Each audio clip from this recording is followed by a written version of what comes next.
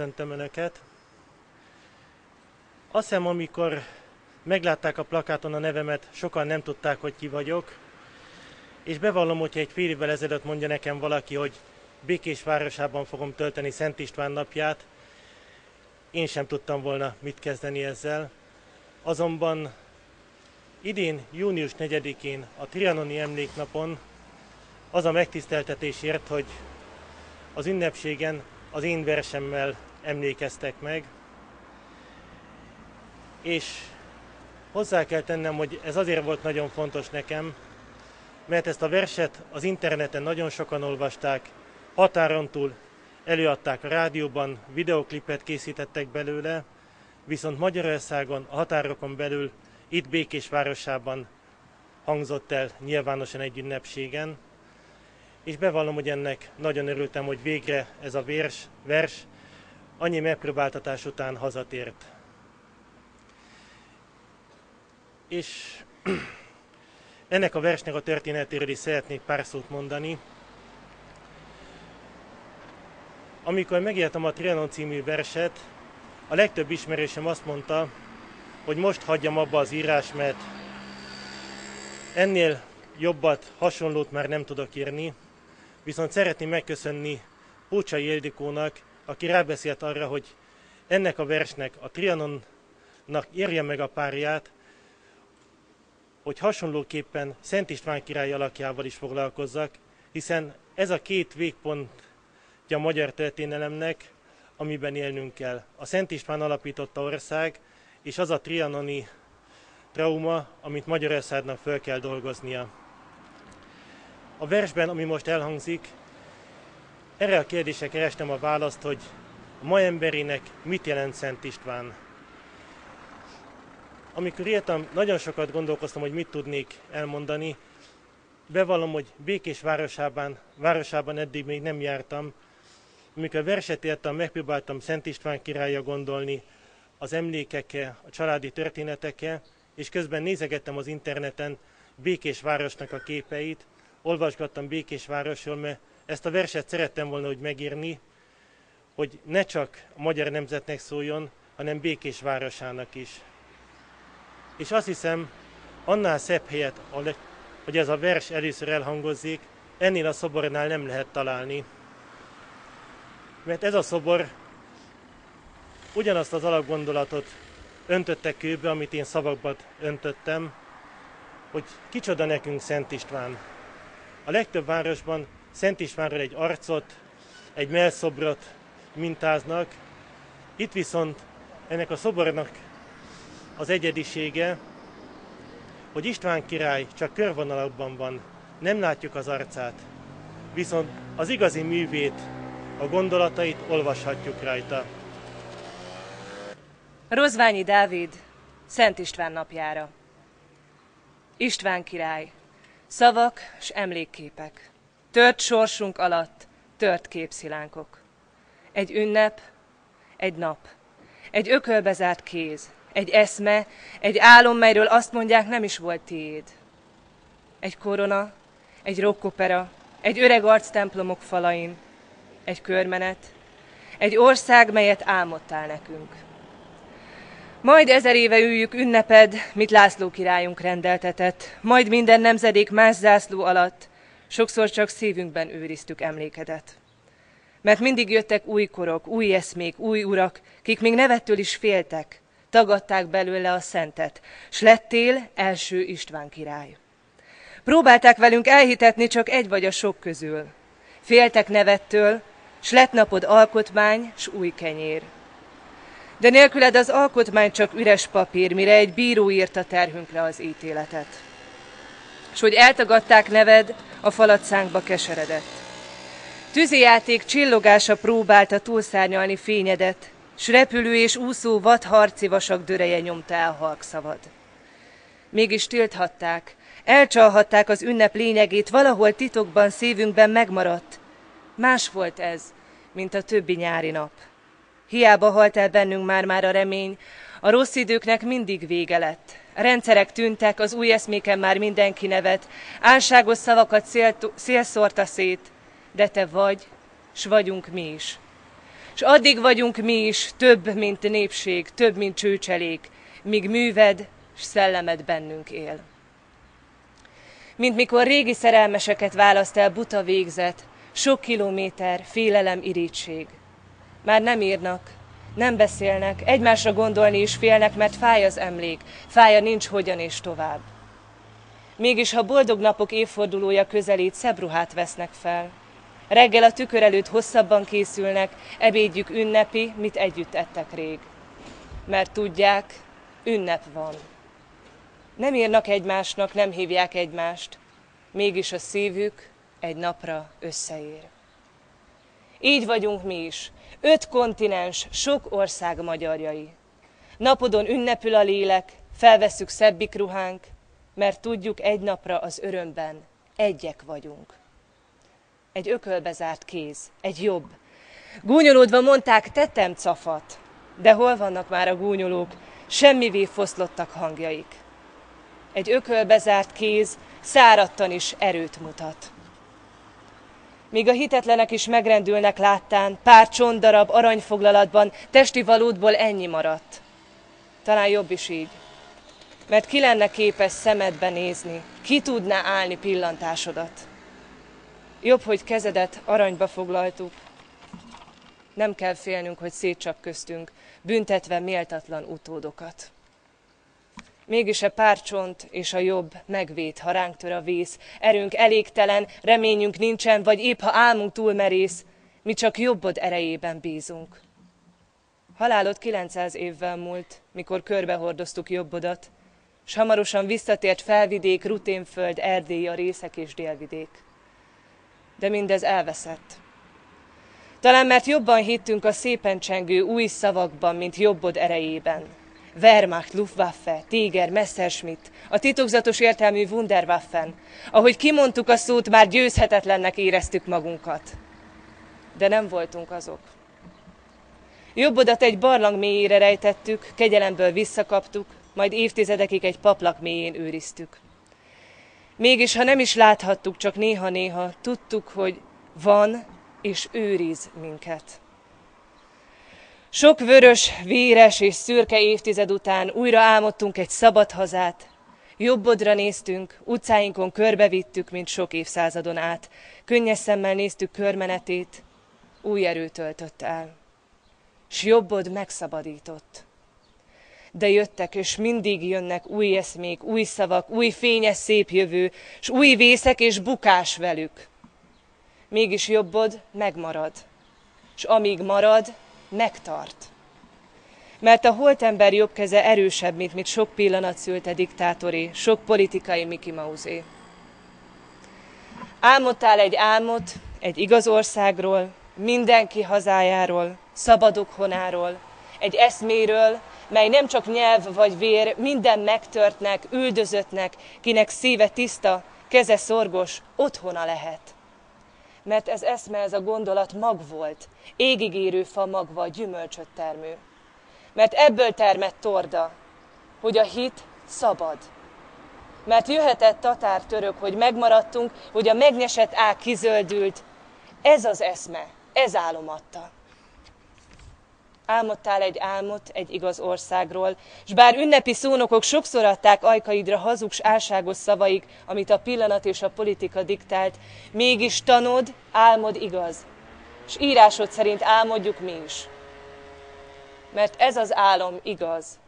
Igazabb, mint a tévék és bulvárok színes valósága, mint az aktuális felszabadítók márvány emlékművei, öröknek hit ért szobrai, mint a száldosú ideológiák. Hiába tagadják, hiába értelmezik mindig másképp szavad, az megmarad. Másnak csak egy ékszer, egy marék gyöngy, drágakő és nemesfém, aranyművesek remeke, nekünk mégis több, mégis más koronád.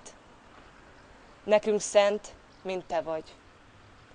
Írhatnak történészek kolumnás cikkeket, hozhatnak évszámokat, írhatnak latin és görög koronát, minket ez nem érdekel.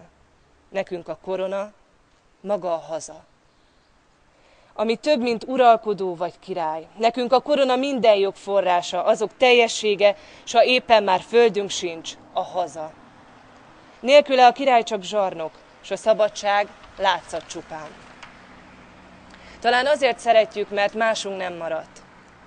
Mikor már nem voltak se Árpádházi, se nemzeti királyaink, országunk szabdalva, a korona volt a hit, hogy nem halandó ember őriz és uralkodik, hogy nem vízre írt betű a törvény, hogy túl minden esendő emberen valami őriz és örök. Két nagy háború között csonkolt hazában szem nem láthatta, csak Smith Jeremiás, ki megértette, a nemzet és koronája egy. Mégis mindenben ott volt. Az ezer nem nem soha felett, a bíró jogosztó szavában, fájóan éredent a dalban. Ha nincs is már király, ha nincs is a régi ország, még van jog és jövő.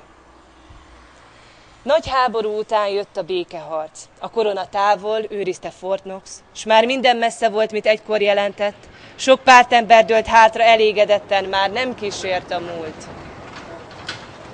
Jött 1978, és az elnöki különgéppel a korona oldalán a felirat United States of America. Vörös parolis őrség fogadta, sapkarózsájuk még az ötágú csillag, tömegek néma áhítattal nézték, s bár nem tudtuk még, nem mertük álmodni, hogy a kommunizmus halálos sebet kapott. Mert az igaz király, az igaz uralkodó végre hazaért. Jött 83, és egy augusztusi éjjelen leléptél a templomok faláról, történelemkönyvek dohos lapjairól, egy nemzedék kereste benned önmagát, kereste minden kérdésre a választ, vívta meg veled és koppányjal harcát, kiáltotta a folytogató szürkeségre, hogy nem kell, és keresett Istent, és hazát veled. És végre eljött a rendszerváltozás, és lettünk koronás köztársaság. Keressük arcodat, mint egykor Izrael kereste Istenét. Amit láthatunk, templomok falain öreg Isten arc, ősöreg, minden titkok tudója, komoran látja a jövő, túl minden mi emberi, túl minden szenvedésen, fiában meghalt a remény, vérei ellenére törnek barátai nemzetére. Mégis ez az arc túllát mindezen, benne bölcs bizonyosság, hogy átkozottan, gyűlölten, fogyva, törve, de népe nemzete megmarad.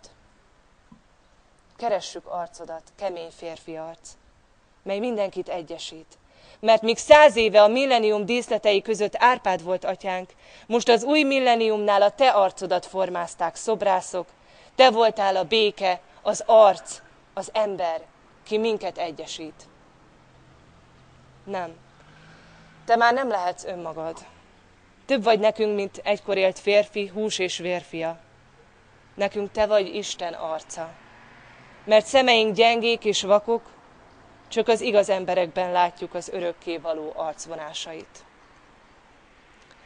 Egy országot álmodtál nekünk. Egy országot, mely mindünk otthona. Egy igazi szép országot, melyről talán utópiát mintázott Mórusz Tamás. Egy országot, mely ezerszer elveszett, mégis él. Egy országot, mely szétszóratott hét határ között mégis egy. Egy ország, mely néha ma is csak álom, de amikor kiejtjük neved, hiába élünk sok zászló alatt, egy pillanatra egyek vagyunk. Egy ország, amit álmodtál. Egy körmenet. Egy öreg arc templomok falán. Egy rockopera.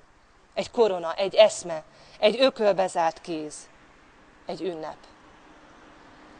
Ennyi vagy nekünk, tört sorsunk alatt, tört emlékképszilánkok.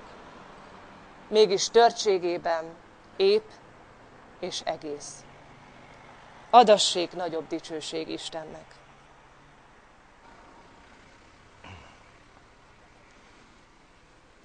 Tisztelt ünneplő közönség! Ismét egy ünnepnaphoz érkeztünk, s óhatatlanul fölmerül az emberben ilyenkor az az érzés, csak nehogy elcsépelté, szürkévé, megszokottá váljanak ünnepeink. Nem megszokásból menjünk ünnepelni, hanem ekkor valóban az adott ünnep szentségére gondoljuk, éljük azt át. Amikor az a megtiszteltetésért, hogy én szólhatok önökhöz, az előző gondolatokon és ezzel párhuzamosan augusztus 20-a gyökerein kezdtem el tűnődni.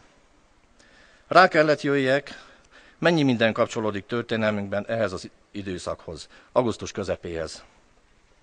Hogy egy néhány példát említsek, 555 éve, augusztus 11-én hunyt el Hunyadi János, a törekverő, Európa megmentője, kinek tiszteletére a világban kondulnak a harangok minden délben. Augusztus 15-én van Nagy Boldogasszony napja, Szűz Mária mennybe menetelének katolikus ünnepe. Ő a magyarok boldogasszonya, a csángók Babba Máriája. Egyes történészek véleménye szerint augusztus 16-án kötötte meg a hétvezérünk a vérszerződést etel közben. És következik augusztus 20. Mi is jut eszünkbe augusztus 20-ról? Legtöbbünknek azt hiszem Szent István, az államalapítás, az alkotmány és természetesen az új kenyér.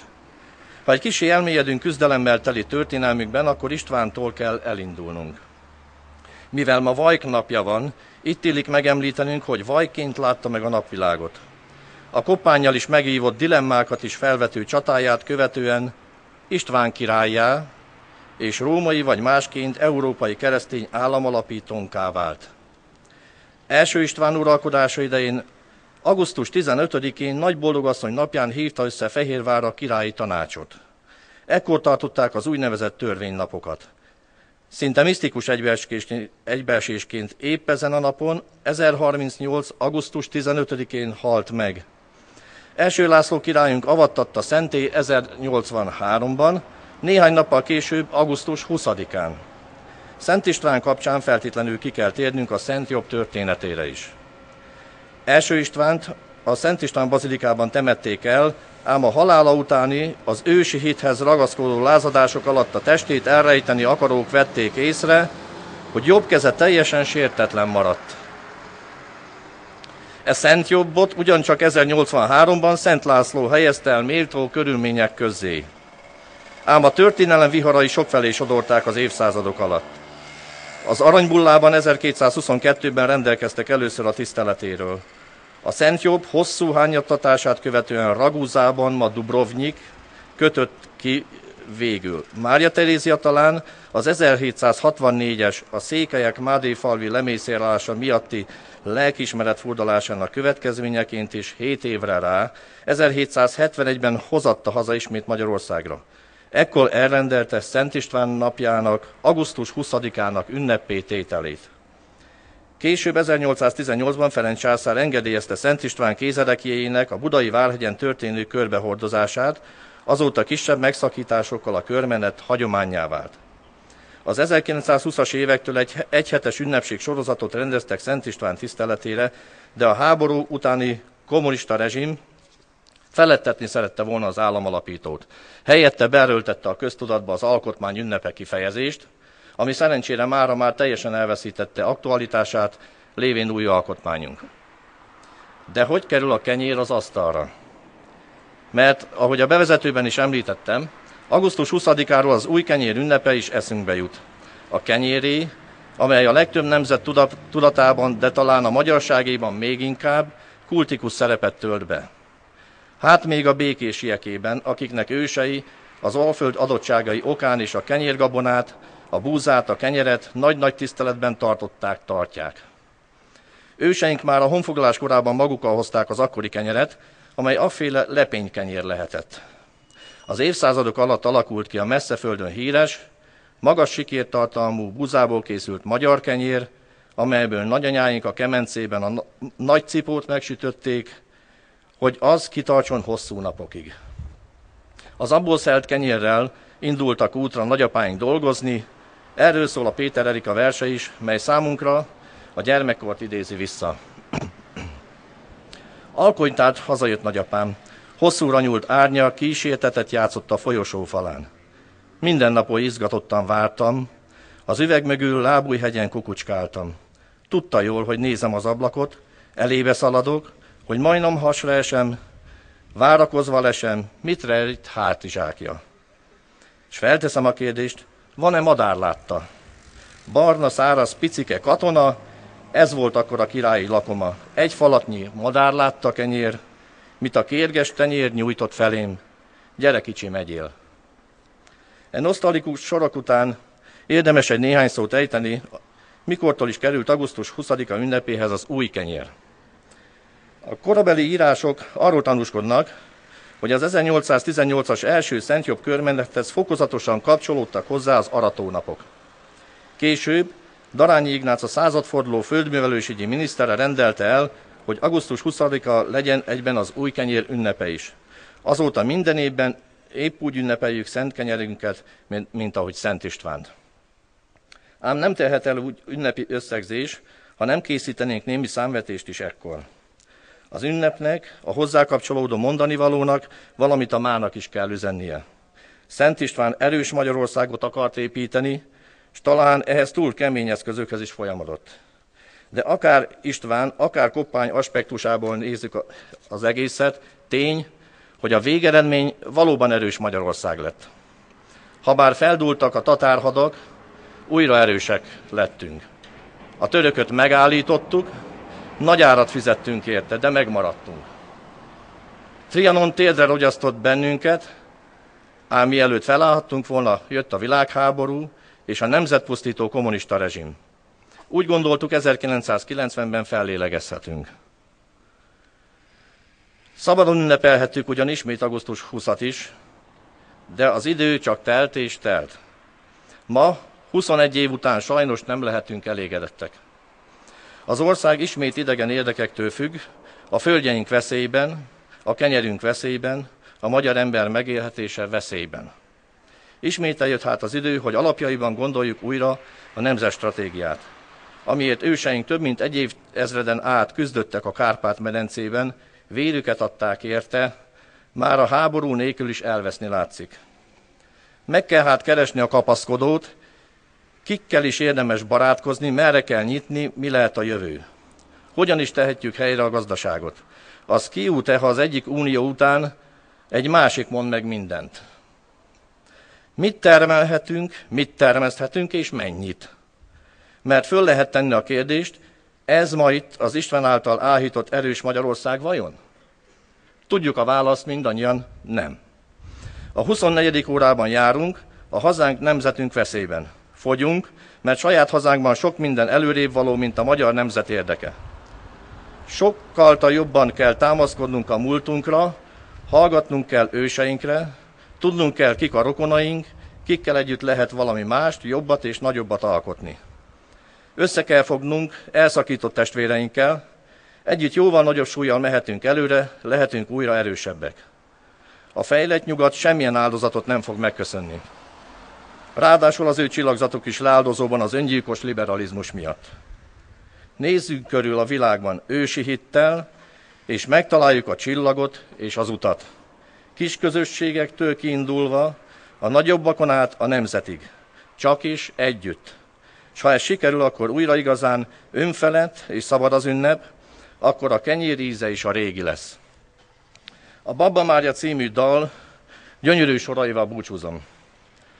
A föld az ég, a nap a hold, a tűz, a víz, a csillagok, a fák, a szél, az állatok, az ördögök, az angyalok, az éles kés, az asztalod, a friss kenyér, az illatok, a hús, a vér, az asszonyod, a kisfiad, az otthonod, ez mind én vagyok. Szép és szabad vagyok, magyar vagyok.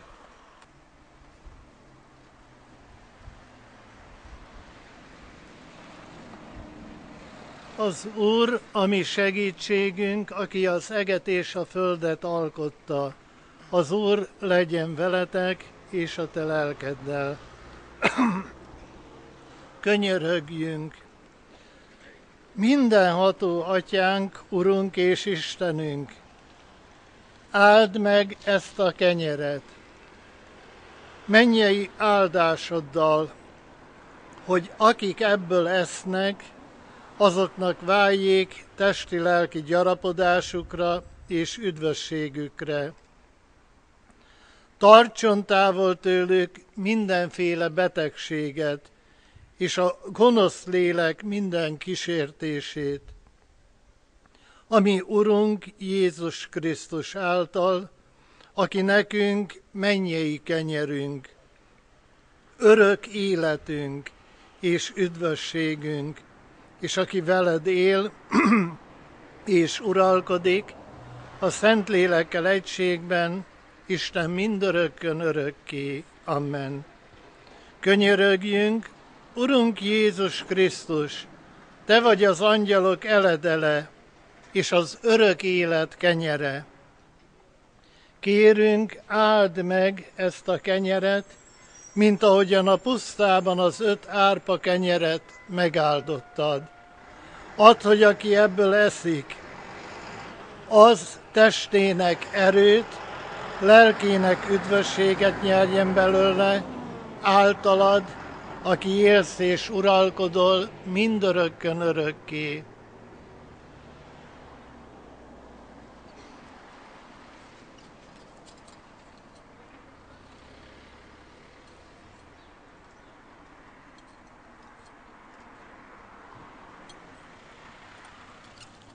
Dicsőség az Atyának, a Fiúnak és a Szent Léleknek, miképpen kezdetben, most és mindörökké. Amen. Kegyelem nékünk és békesség Istentől, ami atyánktól, és az ő egyszülött fiától, ami Urunk Jézus Krisztustól. Kedves ünneplő gyülekezet, hallgassuk meg Istennek azt az igéjét, amely a 127. Zsoltárból szólít meg bennünket ezen a drága szép ünnepen. Emberi a munka, Istené az áldás. Ha az Úr nem építi a házat, hiába fáradoznak az építők. Ha az Úr nem őrzi a várost, hiába vigyáznak rá az őrök. Hiába keltek korán és feküztök későn, fáradtsággal szerzett kenyeret esztek. De akit az Úr szeret, annak álmában is ad eleget. Hajtsuk meg a fejünket, és mondjuk el, ami Urunk Jézus Krisztustól tanult imádságunkat, a mi atyánkot. Mi atyánk, aki a mennyekben vagy, szenteltessék meg a te neved. Jöjjön el a te országod, legyen meg a te akaratod, amint a mennyben, úgy a földön is. Mindennapi kenyerünket add meg nékünk ma, és bocsásd meg védkeinket, miképpen mi is megbocsátunk az ellenünk védkezőknek. És ne vigy minket kísértésbe, de szabadíts meg a gonosztól, mert tiéd az ország, a hatalom és a dicsőség mind örökké. Amen. Fogadjuk az áldást a példabeszédek könyvéből, a példabeszédek könyvének harmadik fejezetéből.